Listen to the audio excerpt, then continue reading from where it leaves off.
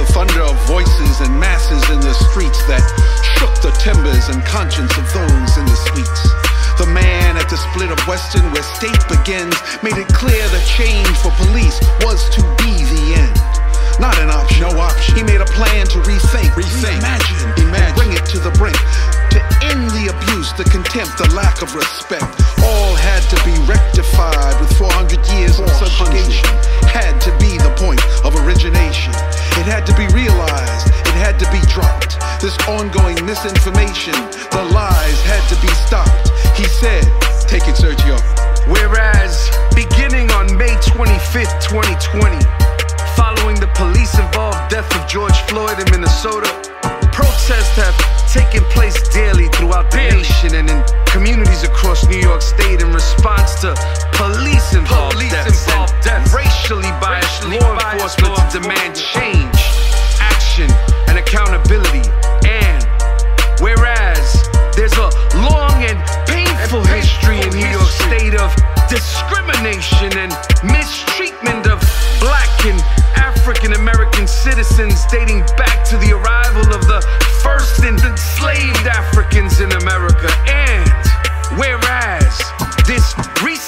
history includes a number of incidents involving the police that have resulted in the deaths of unarmed civilians, predominantly black and African American men that have undermined the public's confidence and trust in our system of law enforcement and criminal justice. And such condition is ongoing and urgently needs to be rectified. And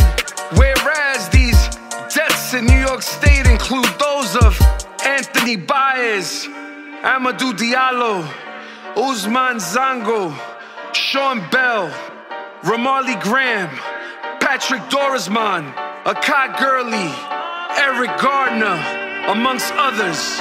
And in other states include Oscar Grant, Trayvon Martin, Michael Brown, Tamir Rice, Laquan McDonald, Walter Scott, Freddie Gray, Philando Castile, Antwon Rose Jr., Ahmaud Arbery, Breonna Taylor, and George Floyd, amongst others. Whereas these needless deaths have led me to sign into law the Say Their Name agenda, which reforms aspects of policing in New York State. And whereas government has a responsibility to ensure that all of its citizens are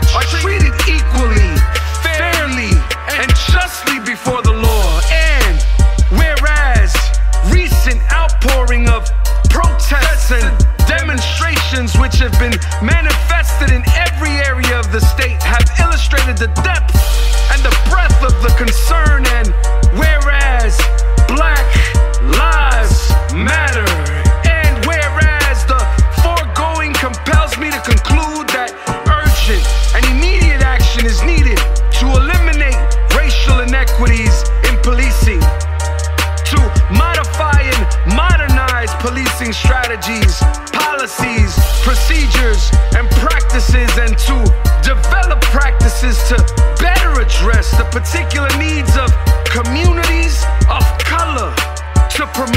public safety, improve community engagement, and foster trust.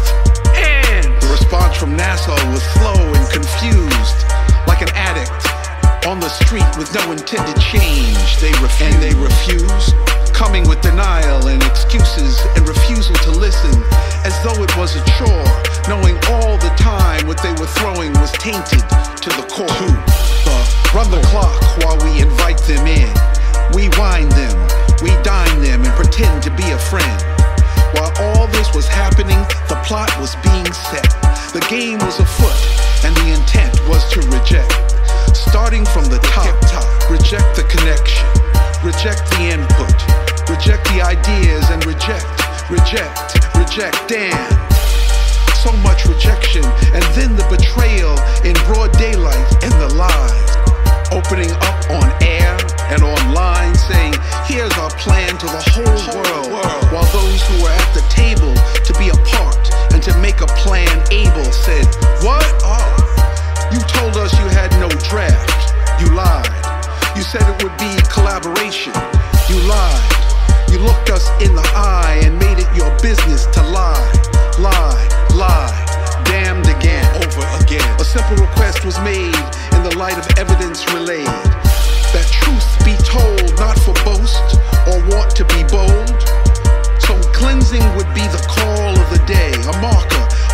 departure, so that no voice would be silenced by denials and to allow opponents to be changed to realizers rather than be rivals. The aim was to be seekers for healing instead of enemies. So what you did was refuse to engage on what the man from street of state said was to be the real parade. It came to pass, and this was the simple as. Take it, sir. The request Nassau County, the county executive, and the commissioner of police. Here is the request to which I respectfully seek a simple response. In looking at the numbers produced by the Nassau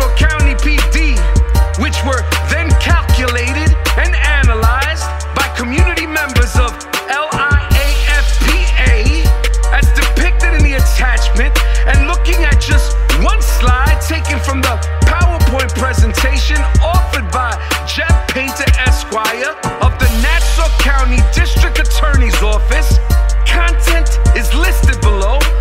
Will you admit that there are serious issues of inequity and racial disparities resulting from arrests by Nassau County Police? You would not answer, and you have not answered. Your denial is a disease, and your arrogance a sickness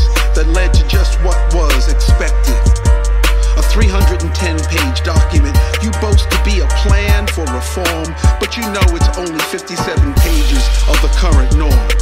Stuffed with filler at best, and lined with nothingness in the rest. You prop yourself up as doing this with support. Arms locked with the people, but there must be a retort.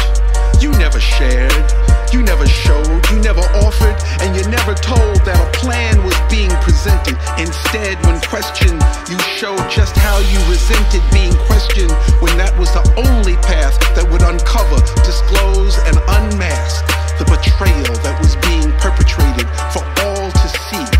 And you didn't care. So we rise up and present that which we know will demonstrate what we can do and what we can do.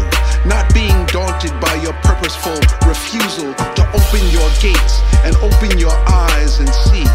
The people's plan, we say, is bold, not old. It's open and available to see and to be the change that we want to be. Ours is an invitation, ours is innovation. Ours is provided with arms open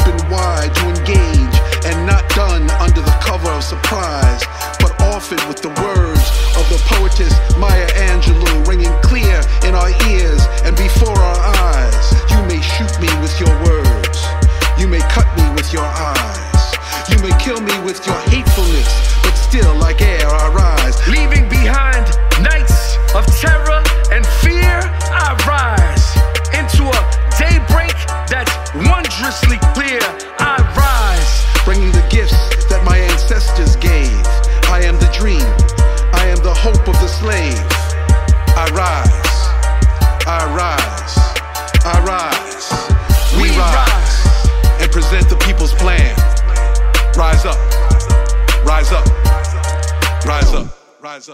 Rise up,